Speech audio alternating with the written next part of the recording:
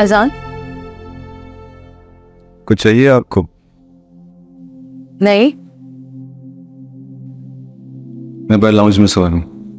आप यहाँ पे कंफर्टेबल होके सो जाएँ। अगर आपको कुछ चाहिए हुआ तो बता दीजिए। दीजिएगा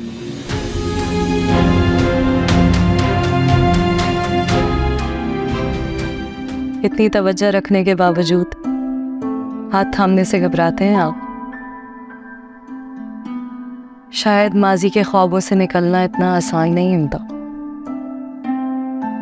रहने दीजिए। मैं उठा लेती हूँ। जी ठीक है। मैंने मना किया और आप रुक गए। ये रवैया खासा तकलीफ़ दे। है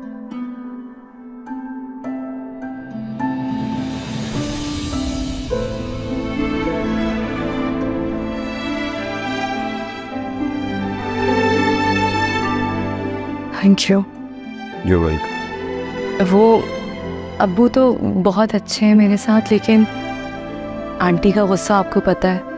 आपको लगता है मुझे देख के खुश होंगी?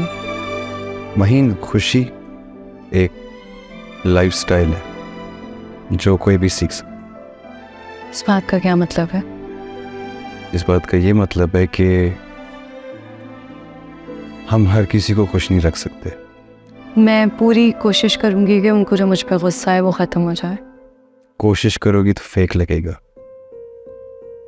इससे बहुत बेहतर है कि आप जैसे हो अब बिल्कुल वैसे रहो।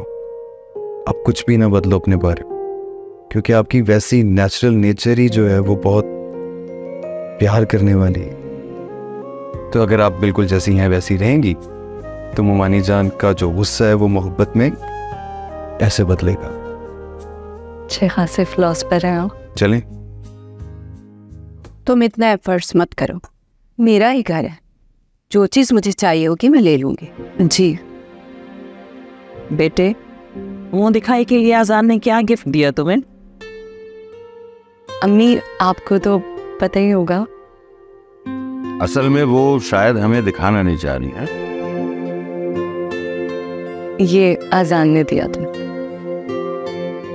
माशाल्लाह ये तो बहुत प्यारे हैं देखें भाई। ज़बरदस्त बहुत अच्छे हैं लेकिन बेटा ये आपने पहने क्यों नहीं? वो मैंने ट्राई की थी लेकिन मेरे हाथ पे चढ़ी नहीं।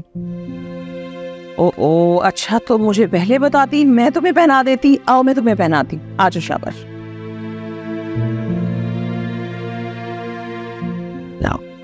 बिस्मिल्लाह। वैसे इंसान को हमेशा वो रवैया अपनाना चाहिए जिसे कायम रख सके सारी उम्र। कभी कभी मीठा बहुत ज़्यादा हो जाए तो कड़वा लगने लगता है। क्या इमरान तुम बेतुकी बात करती हो यार। रहने दे मामू जान। मुमानी जान को टोका मत करे।